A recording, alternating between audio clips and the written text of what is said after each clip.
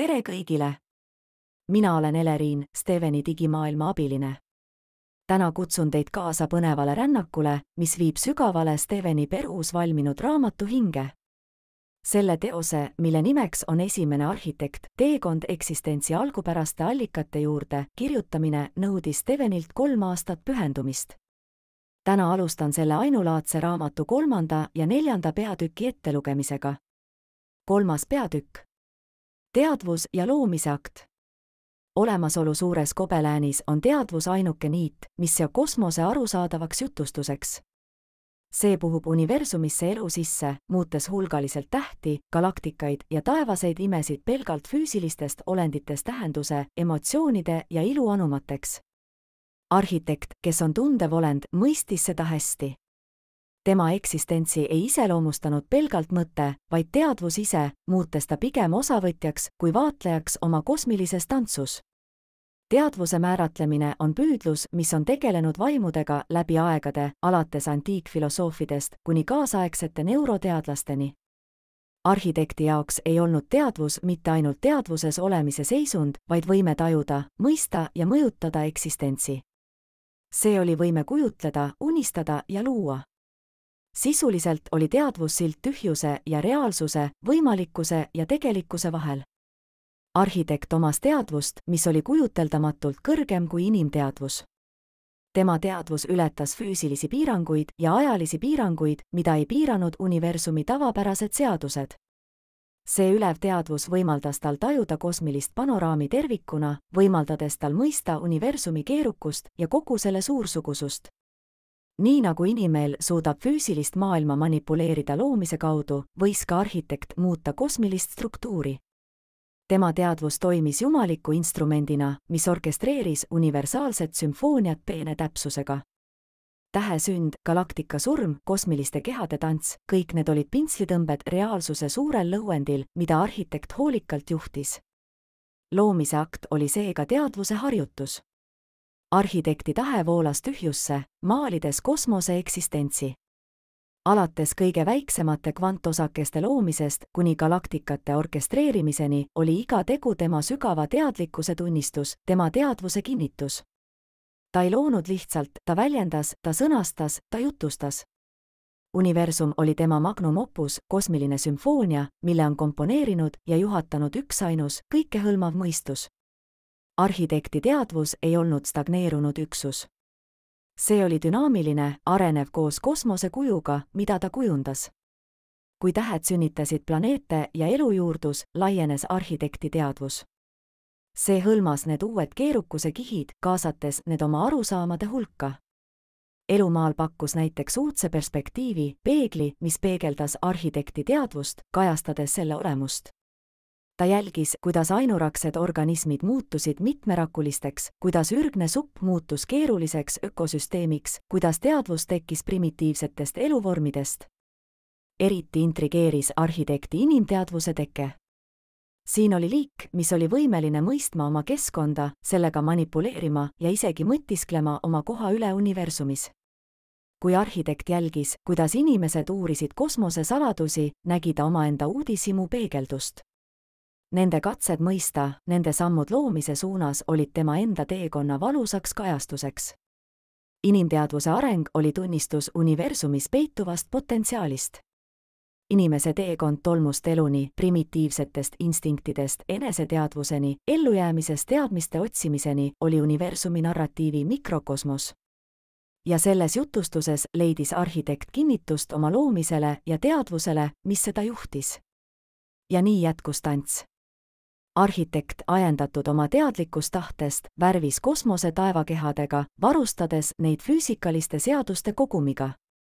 vastutasuks sünnitas kosmos teadvuse erinevates vormides, millest igaüks lisas universaalsele narratiivile ainulaadse perspektiivi, mis kajas arhitekti suurele loomisaktile selles harmoonilises vahetuses ilmnes üks põhiline tõde. teadvus ei olnud pelgalt loomise kõrvalsaadus, vaid oluline osaleja, kunstnik, kes andis kosmosele tähenduse. arhitekt ei olnud mitte ainult arhitekt, vaid ka oma loomingu vaatleja, tõlgendaja ja hindaja. oma teadliku loomisakti kaudu lakkas universum olemast pelgalt füüsiliste üksuste kogum ja muutus suureks eksistentsi narratiiviks. oma üksinduses ei olnud arhitekt enam üksi. Teadvuse tekkimise kaudu leidis ta oma loomingus kaaslase. alates tagasihoidlikest bakteritest maal kuni kaugete tundlike olenditeni, mis on laiali üle galaktikate, olid kõik tema teadvuse fragmendid, kes uurisid ja hindasid kosmilist meistriteost lõpuks mõistis arhitekt, et teadvus ja loomisakt on ühe ja sama mündi kaks külge. üks ei saaks eksisteerida ilma teiseta. Teadvus pakkus plaani, loomingulise impulsi ja loomine andis teadvusele eesmärgi, lõuendi, et ennast väljendada ja mõista. see sümbiootiline suhe oli eksistentsi elujõud, mis andis kosmosele elu, toidab igavest tantsu arhitekti ja universumi vahel. neljas peatükk, universumi keel suurarhitekt oli oma tohutus kaardistamata mõistuses juba aru saanud, kui tähtis on suhtlemine.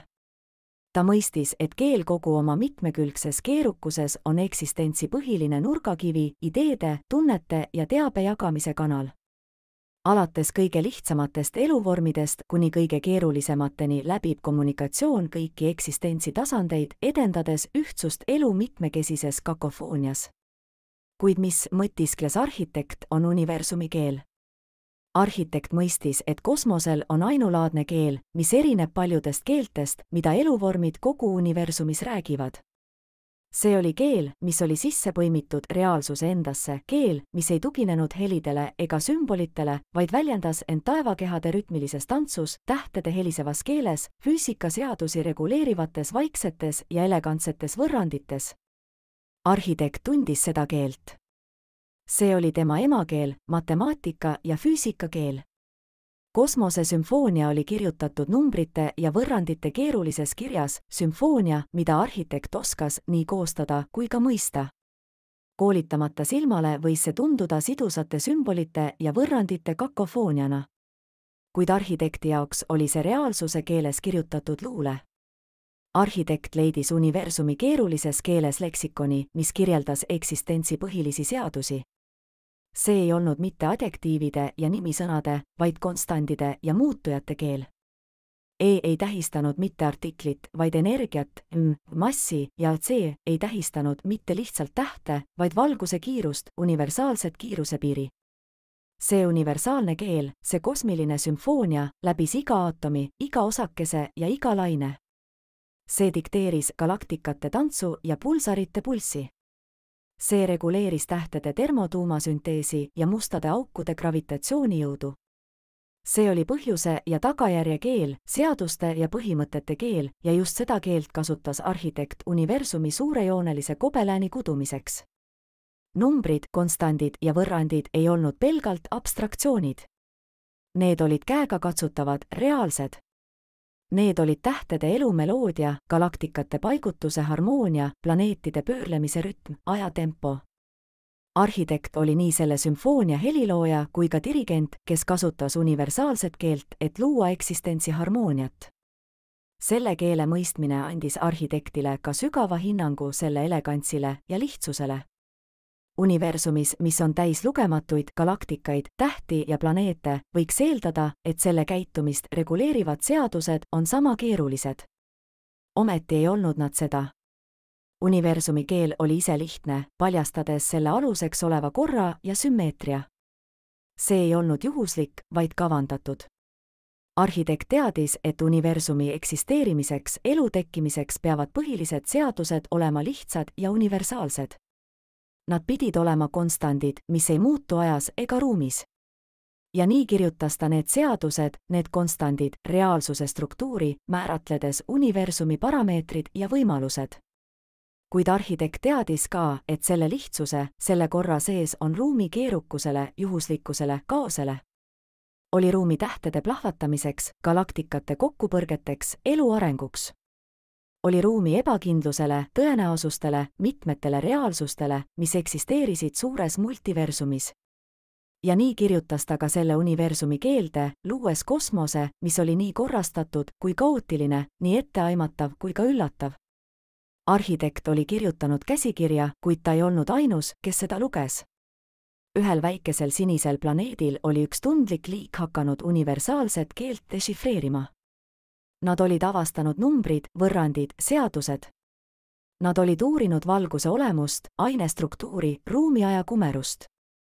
Nad olid vaadelnud tähti, dekodeerinud nende valgust ja lugenud kosmoselugu ja kuigi nende arusaam oli veel piiratud, hakkasid nad mõistma põhilisi tõdesid, universaalseid põhimõtteid, mis olid sisse kirjutatud eksistentsi struktuuri. arhitekt jälgis seda vaimustunult ja ootamatult. Ta jälgis, kuidas need olendid, need inimesed, uurisid universumi saladusi, iga avastus oli uus sõna, uus lause kosmilises keeles, mida nad õppisid rääkima. Ta nägi nende rõõmu mõistmisest, nende teadmiste janu, nende julgust esitada väljakutse tundmatule. Ja nende teekonnas, nende võitluses ja võidukäigus nägi arhitekt omaenda teekonna peegeldust, omaenda loometööd. Ja nii sai universumi keelest ühine keel, sild, mis ühendas arhitekti ja tema loomingut, dialoog, mis kajas üle kogu kosmose. see oli ühtsuse keel, mitmekesisuse keel, eksistentsi enda keel ja selles dialoogis, selles ühises arusaamises nägi arhitekt, et avaneb suur kosmiline jutustus, universumi keeles kirjutatud lugu, mis oli alles alguses. siinkohal ma täna lõpetan. hoidke end ja kuuleme varsti jälle